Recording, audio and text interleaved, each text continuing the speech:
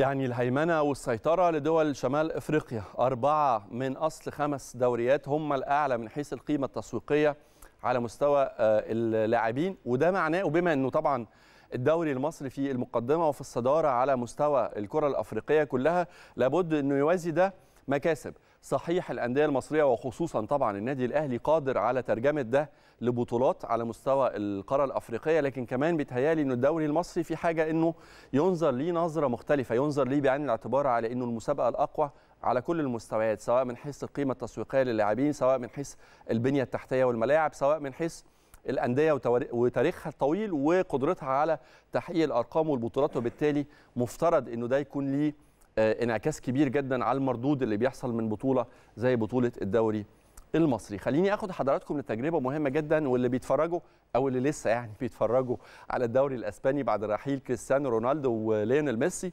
خليني أقول لكم إنه السنة دي في ظاهرة غريبة جدا. هي ابتعاد أتلتيكو مدريد وبرشلونة عن المنافسة لأسباب ممكن تكون معروفة أو حتى غير معروفة. يعني فريق زي أتلتيكو مدريد الحقيقة بيضم كتيبة و squad أكتر من رائع لكنه الحقيقة بيجي في الترتيب بعد نادي زي نادي سيبيا أو إشبيلية الأسباني.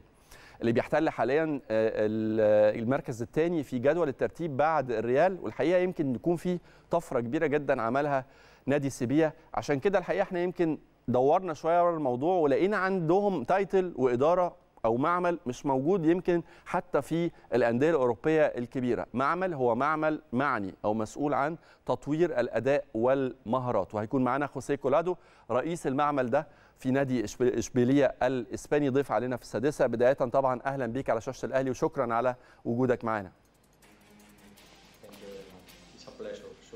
شكرا شكرا لكم موتشاس جراسياس زي ما بيقولوا. خليني أسألك الأول على طبيعة المعمل ده اللي يمكن يكون فكرة جديدة أو مستحدثة.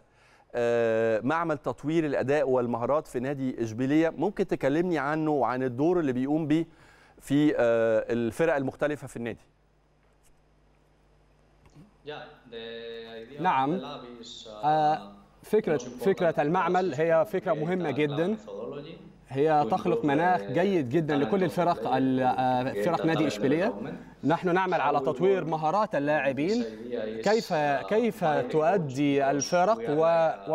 ونعمل بشكل أساسي مع المديرين الفنيين. فتعاملنا أكثر مع المدير الفني. هذه الفكرة فكرة المعمل هي لتطوير المدير الفني في المقام الأول ومن ثم تطوير الفريق. آه، لكي تطور اللاعب فأنت يجب عليك أن تطور المدير الفني اولا. إيه الأدوات اللي بتستخدموها تحديدا؟ يعني إزاي بتتم عملية التطوير سواء للأداء وخصوصا كمان عايزك تركز معايا في الجزئية الخاصة بالمهارات.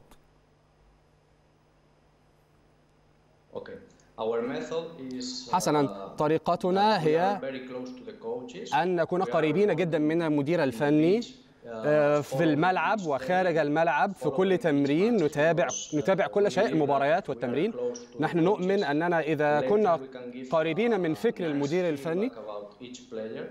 آه سننتج بشكل أكبر لصالح الفريق. نعمل على تطوير مهارات الفريق بقياس ما يحتاجه اللاعب خارج الملعب وداخل الملعب. ومناسبة يمكن سيبيا بيقدم موسم استثنائي. وبيحتل حاليا المركز الثاني في جدول ترتيب الليجا. هل ده بسبب تراجع أداء ومستوى برشلونة واتلتيكو مدريد ولا أنت شايف إنه في طفرة حقيقية حصلت أو نجح فريق سيبيا في تحقيق الموسم ده في الليجا؟ أعتقد أنه يرجع إلى تطورنا بشكل كبير. أعتقد أن لدينا مدير فني ذا ذا خبرة يعمل يعمل بشكل جيد. هو هو الآن قد قد قضى ثلاثة سنوات بالفعل ثلاث سنوات بالفعل مع الفريق الأول بالطبع هذه فرصة جيدة له ليتطور ويطور الفريق بشكل كبير. أعتقد أعتقد أن أن الفريق يسير بشكل جيد وهذا أهم شيء بالنسبة لنا. تعتقد أنه في احتمال أنه أنه فريق إشبيلية يكون قادر على تحقيق لقب بطولة كبيرة زي بطولة الليجا وإيه هي فرصة حتى كمان أو إزاي أنتم بتشوفوا فرصته في المنافسة في الدوري الأوروبي؟ بالطبع في في الليغا الإسبانية الأمر صعب جدا أن تفوز كل المباريات الأمر صعب. أمر صعب جدا لأي فريق. لكن أعتقد أعتقد أننا ب... إذا أخذنا الأمور خطوة بخطوة فأعتقد أن هذا الأمر سيكون هما لنا لنفوز بالليغا السنيدة آه. هذا الموسم. أعتقد أنها فرصة جيدة لنلعب في ال Champions League العام القادم.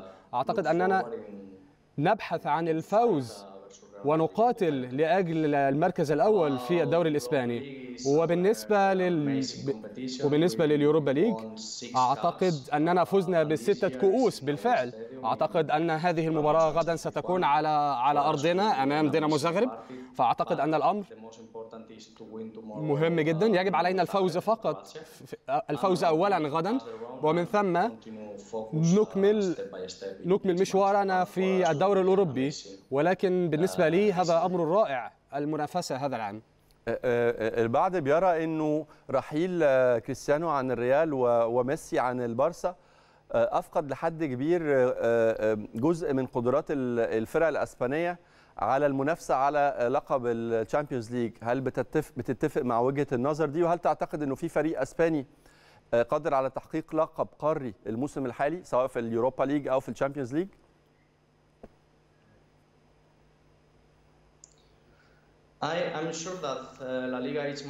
أنا أنا متأكد من أن الدوري الإسباني بطولة تنافسية كبيرة. وأعتقد أننا فقدنا نصف قوة هذا الدوري برحيل كريستيانو وليونيل ميسي.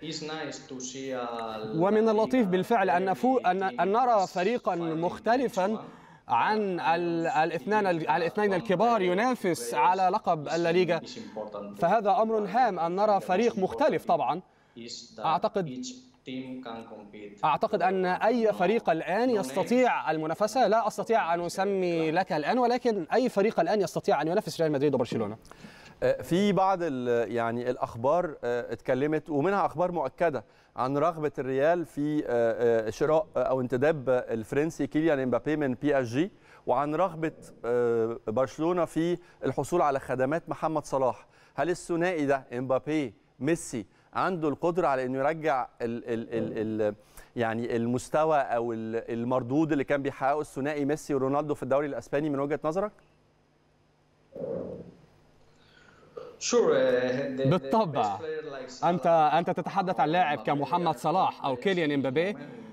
هما افضل هما أفضل لاعبين الآن في العالم. إذا اتى اذا إذا أتيا إلى الدوري الإسباني سنرى منافسة كبيرة جدا جدا. سيتحول الدوري الإسباني إلى قبلة مرة أخرى قبلة للاعبين الكبار في العالم. أعتقد أن هذا أمر أمر جيد لنراه في الدوري الإسباني. إزاي تابعت مواجهات الأندية الإسبانية النهارده طبعا في مواجهة قوية جدا بين أتلتيكو مدريد وبين مانشستر يونايتد. خليني أسمع رأيك أو توقعاتك فيها ويهمني كمان أسمع رأيك في مواجهة امبارح فيا ريال في مواجهة اليوفي الإيطالي.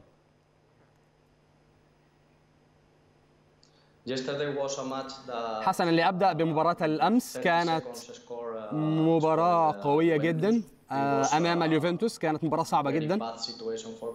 كان أمر صعبا على فيا ريال أن ينافس هذا الفريق الكبير العريق. وكان وفريق فيا ريال قاتل طوال 90 دقيقة. ولكن وفي النهاية أنهى الأمر بشكل جيد نوعا ما. كان كانت منافسة قوية. وبالنسبة للقاء اليوم سيكون الأمر أتمنى طبعا أتمنى مباراة رائعة بين الفريقين. أتمنى أن نرى مباراة جيدة على المستوى الفني. آه بالطبع أتمنى فوز الفرق الإسبانية بما أني مدرب إسباني. لو اتكلمت شوية معاك على تجربة تشابي مع مع برشلونة إزاي بتقيمها؟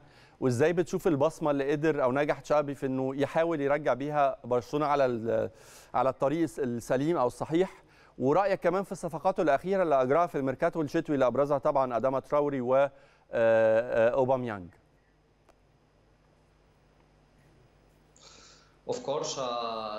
بالطبع تتحدث عن تشافي. أعرفه لا أعرفه كمدرب بشكل كبير ولكن تعاملت معه في قطر. كان كان يدرب كان يدرب فريق السد وأنا كنت في عمل مع مشترك مع فريق الأهلي القطري. كان الأمر كان الأمر رائع جدا. هو مدير فني كبير وكان الأمر جيد جدا أن أن يعود كمدير فني لبرشلونة. أعتقد أنه طور كثيرا من أداء الفريق.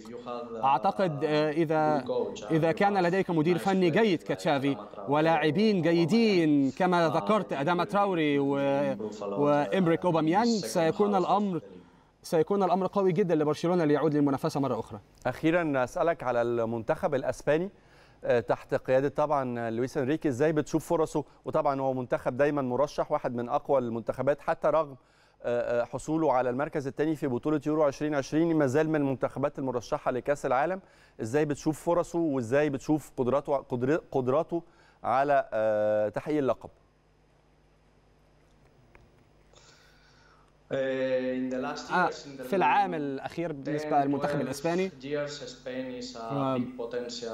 منتخب إسبانيا يضم لاعبين رائعين يؤدون بشكل جيد. بالنسبة ويتطور شيئا فشيئا مقارنة بما كان في الماضي أو الفترة الأخيرة. أعتقد أن الفريق يؤدي بشكل جيد على المدير الفني. يؤدي بشكل جيد لدينا جهاز فني كبير لدينا لاعبين رائعين. ولكن بالنسبة لكأس العالم في قطر أنا أنا عملت في قطر بالفعل. المناخ هناك جيد لأداء كأس عالم جيد بالنسبة للمنتخب الأسباني. أعتقد أعتقد أن أتمنى طبعا لمنتخب إسبانيا أن يحقق يحقق الأمر مرة ثانية وأن نفوز بكأس العالم في قطر. خوسيه كولادو رئيس معمل تطوير الأداء والمهارات بنادي سيبيا بشكرك شكرا جزيلا على مشاركتك وعلى وجودك معنا على شاشة النادي الأهلي. والحقيقة كلام كتير جدا لأنه الإعلام بقى ليه دور مهم جدا ورئيسي جدا في الرياضة بشكل عام وفي كرة القدم الحقيقة اللي كل يوم بنسمع فيها حاجة جديدة. خلينا نروح لفاصل نرجع نتكلم مع حضراتكم على محترفينا في الخارج. مش بس فقرة ال GPS اللي اتعودتوا إنكم تشوفوها أو تتابعوها معانا في السادسة لكن الحقيقة كمان هنقدم لحضراتكم وجوه جديدة بتلعب في الدوريات الكبيرة في أوروبا. وبنشوف إن هم ممكن يكون ليهم فرصة إن هم يشاركوا أو يشكلوا جزء من مستقبل الكرة المصرية عشان تتعرفوا عليهم. تابعونا في السادسة بس بعد الفاصل.